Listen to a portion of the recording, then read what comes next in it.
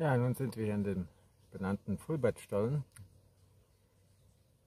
auch Mundloch des sogenannten Delius-Tunnels genannt, Delius-Tunnels.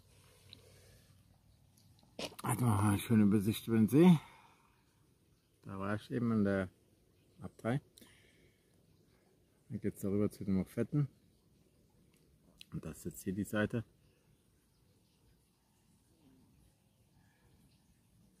Die Südwestseite des Sees.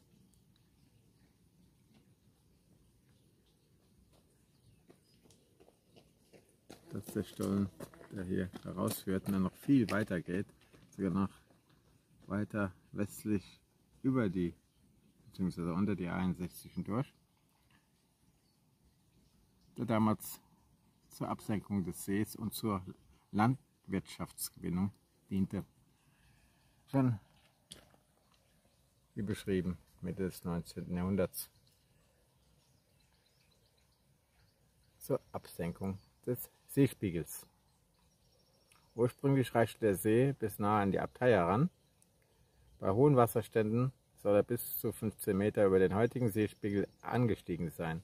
Zum Schutz der Krypta vor Hochwasser und zur Landgewinnung ließ schon der zweite Abt des Klosters Fulbert vermutlich um das Jahr 1164 einen etwa 880 Meter langen Abzugstollen durch die südlichen Randberge des Lacher Beckens graben. Man spricht deshalb vom Fulbertstollen. Der Stollenbau begann damit, dass von der Oberfläche her im Abstand von ca. 30 bis 50 Schächte bis auf das angestrebte Stollenniveau ausgehoben wurden. Am Fuß der Schächte wurden jeweils nach beiden Seiten Teilstollen gegraben, die aufeinander trafen und somit einen 880 Meter langen, durchgängigen Abzugstollen bildeten. Dann hier ist das Längsprofil der Grundriss der beiden Tunnel am Lacher See. Wie gesagt, es gibt dann noch einen alten, dann später den neueren gegrabenen. Der alte sollte schon ziemlich verfallen sein. Ja. Und da sieht man auch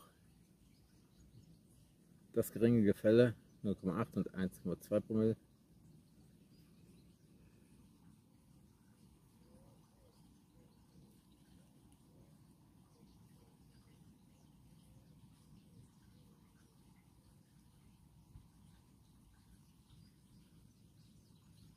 Ja, der Fulbertstollen ist halt eben der alte. Und der andere, der jetzt so intakt ist, ist der Tunnel von 1844.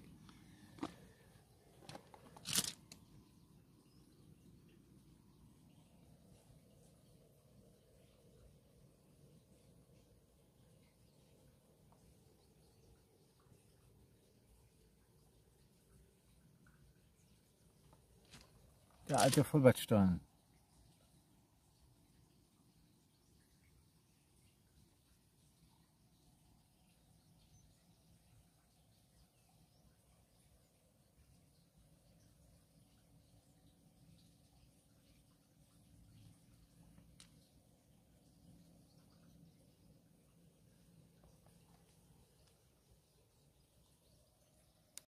So, dann gehen wir mal hier runter ans sogenannte Mundloch des Delius-Tunnels, wo der der Schacht, der Überlaufschacht. Ja, hier sieht man auch, es läuft. Da kommt sogar noch ein kleines Bächlein her. Das ist dann hier der Überlauf zum See. Man sieht, es fließt auch. Also ein hoher, Wasserstand durch die vielen Regenfälle und das nasse Frühjahr. Und dann fließt es hier in den Stollen.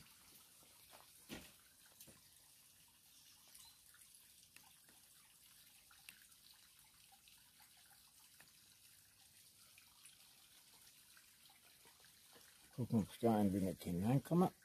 So. So. Das dann da aus. Und da geht es dann tief hinein.